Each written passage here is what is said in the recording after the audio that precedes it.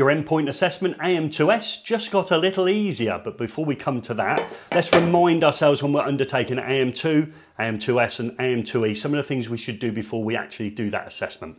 I always recommend you go onto Net Services website and have a look at the free downloadable documentation about your assessment. I also recommend the training provider, the one that's actually going to carry out your assessment, is that you do their pre-assessment days. I know that's another charge, but it is worth going along, seeing the training centre and getting some feedback from them and they're always likely to tweak your assessments and that's where we come to the video we're on today. The AM2S has a piece of plastic conduit that needs to be bent and has a piece of steel conduit that needs to be bent and it's the steel conduit they've made a small adjustment to. It originally looked like this in some form, it had a 90 degree bend and it had a double set as well to required measurements, so that would be a required measurement, required measurement and a required measurement for the set.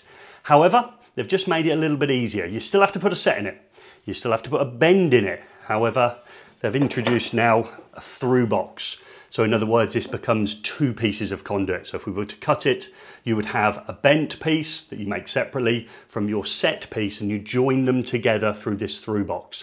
There is measurements for it. Obviously, this has got to be in a certain position as well as the bend and as well as the set. There are dimensions for them, but it not being in one piece and now being in two separate pieces makes that assessment a little bit easier. However, when you're watching this video, they may have tweaked something else again. So it goes back to the original information I gave you about checking before you undertake your assessment and not just relying on YouTube videos like this one.